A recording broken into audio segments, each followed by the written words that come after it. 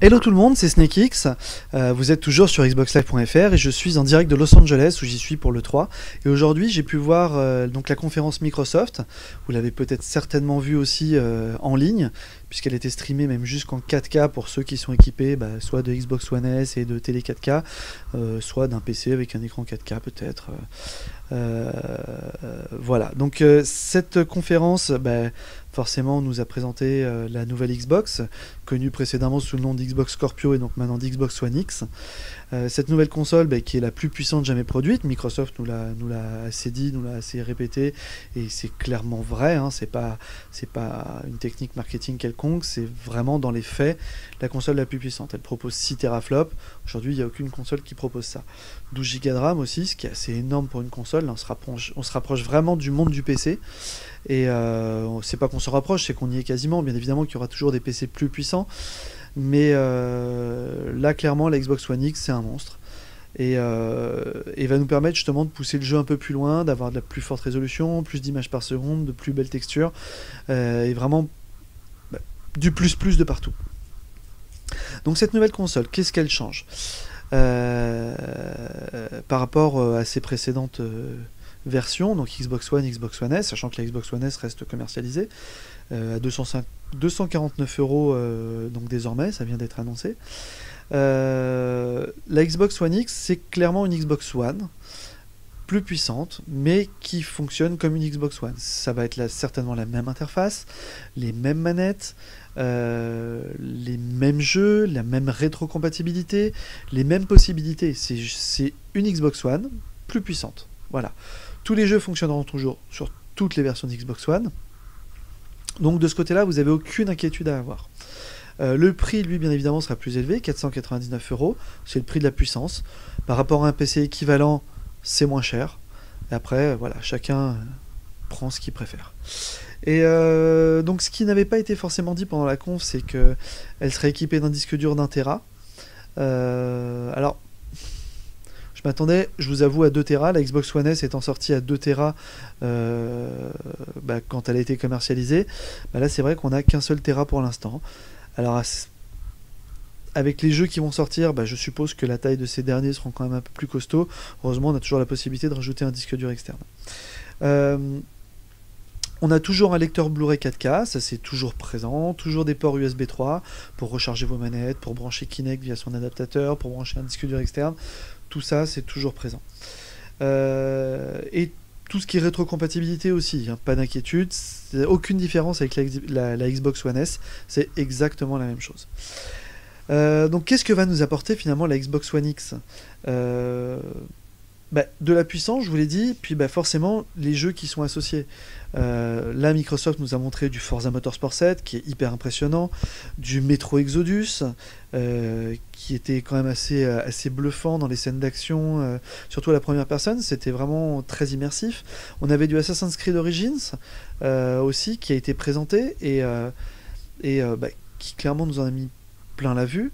je pense qu'au niveau des animations, il y a encore des améliorations à faire. Les combats, je les trouvais un peu rigides. Euh, State of Decay 2, qui alors, techniquement n'est certainement pas à la hauteur de ce que peut faire la Xbox One X, mais euh, on est dans un, c'est une sorte de Left 4 Dead euh, qui a l'air quand même en tout cas plutôt bien réussi, et la suite en tout cas semble, semble encore bah, largement meilleure que, que, le premier opus. Et, et tous ces jeux-là vont pouvoir passer en 4K, et c'est le cas de Minecraft aussi qui a été annoncé. C'est pas qu'il a été annoncé, il est déjà disponible, mais en plus d'être compatible avec toutes les plateformes, euh, un gros patch va permettre de le faire fonctionner en 4K avec des textures un peu plus, euh, un peu plus agréables, des effets un peu plus agréables, et même si c'est un jeu très pixel, on va dire, très pixelisé, euh, bah, c'est vrai que sur l'aspect général, cette finesse se ressentira de toute façon. Il y a d'autres jeux qui vont vraiment profiter à, à la Xbox One X. Euh, je pense à Crackdown 3, on a vu un bref extrait, mais c'est vrai qu'on est encore dans un monde ouvert. Les mondes ouverts sont très consommateurs de performance. La Xbox One X pourra le faire. C'est pas pour ça que le jeu ne fonctionnera pas sur Xbox One S, mais bien évidemment, il faudra s'attendre à ce que euh, techniquement le jeu soit un peu en dessous visuellement. Euh, et certains jeux, eux, par contre, sur Xbox One X, euh, vont être patchés, donc des jeux déjà sortis, vont être patchés pour justement être encore plus beaux sur Xbox One X. Donc on trouve parmi ces jeux donc Minecraft, je viens de le dire, euh, Resident Evil 7, euh, Ghost Recon Wildlands, Killer Instinct, du Forza Horizon 3, il va être extraordinaire, il est déjà tellement beau, mais là ça va être encore, ça va être encore un cran au-dessus, ou encore du Gears of War 4. Donc la Xbox One X va nous permettre de faire tourner des jeux qui existent déjà de manière supérieure, une meilleure résolution, plus d'images par seconde, mais tout en restant compatible avec les précédentes versions de la Xbox One. Donc ne vous inquiétez pas, il n'y aura pas des jeux pour Xbox One X et ou pour Xbox One S. Tous les jeux fonctionneront sur Xbox One, Xbox One S et Xbox One X. Et, euh, et ça, c'est pas, c'est pas, c'est pas une utopie, c'est une promesse de Microsoft. Donc ne vous inquiétez pas, la Xbox One X n'est pas une nouvelle console. C'est une Xbox One S ou une Xbox One comme vous voulez, juste plus performante, qui permettra aux joueurs les plus exigeants, qui sont équipés aussi d'une télé 4K, ou pas hein, forcément, mais euh, d'avoir bah, un niveau de technicité, un, bon gros cran bien au-dessus de, ce qui se fait sur Xbox aujourd'hui. Et euh, ce qui a conclu la conférence euh, bah, de manière assez spectaculaire, c'est le jeu en thème, euh, donc édité par EA et développé par BioWare. Donc là, c'est une nouvelle licence, donc il y a quand même un risque pour EA. Et cette nouvelle licence, c'est pour moi un peu un mix de Titanfall 2, puisqu'on est dans un costume un peu euh, qui, vous apporte des, des, aptitudes supplémentaires, comme le vol par exemple, je suppose un peu plus de puissance dans, les combats. Ça, on, ne nous l'a pas dit, mais on le suppose quand on voit le, le trailer de, gameplay. Voilà, donc pour moi c'est un mélange de Titanfall 2, de Crysis, et euh, dans des environnements un peu à, la Avatar en fait. Et euh, les possibilités ont l'air complètement folles, vous sautez d'une falaise pour voler, vous passez sous l'eau, là il y a un monde encore entier sous l'eau, vous ressortez, enfin c'est... Et ça dans des décors d'une finesse et d'une qualité visuelle qui est assez incroyable. Si vous n'avez pas encore vu la vidéo, euh, le trailer de gameplay de Anthem, allez-y, foncez, c'est c'est une explosion pour les yeux. Et donc euh, c'est vrai que bah, ce titre-là sur Xbox One X euh, va clairement marquer une différence par rapport à ce qu'on connaît aujourd'hui sur Xbox One S euh, ou Xbox One traditionnel. Même s'il fonctionnera avec ces consoles-là, c'est tout bonnement impressionnant. Et là, c'est vraiment ce qui nous a mis une grosse claque pendant cette conférence.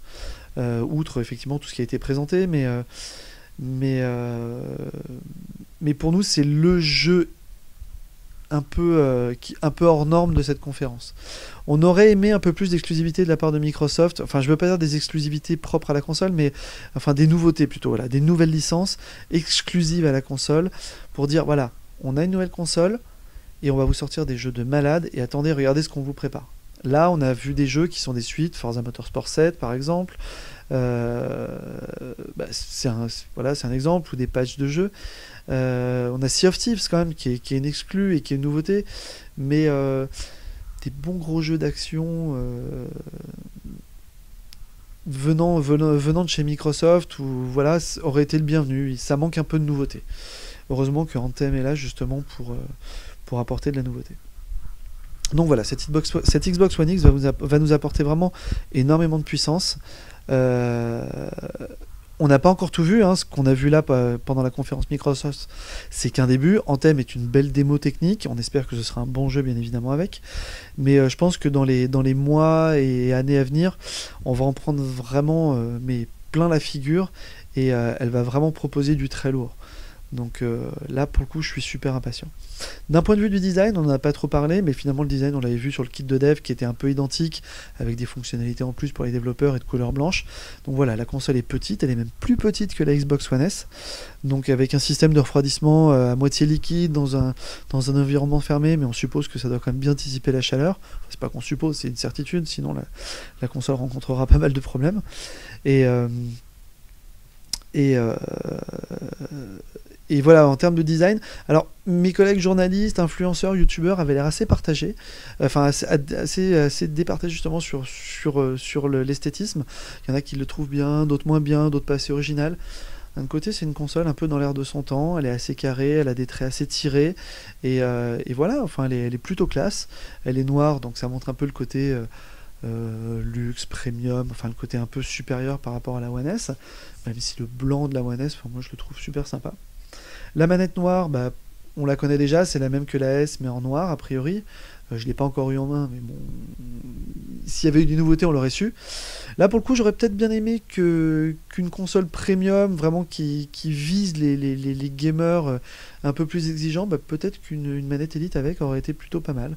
Je suppose que par la suite, on aura des packs Elite avec une Xbox One X et une manette Elite, mais voilà, même la manette Elite aurait mérité un petit rafraîchissement, comme ça avait été le cas pour la Xbox One S, euh, avec des fonctionnalités Bluetooth et des choses comme ça. Bon, on verra. J'ai pas encore vu la console, j'ai pas encore tenu la manette dans la main, et je vous en dirai plus quand je l'aurai vue.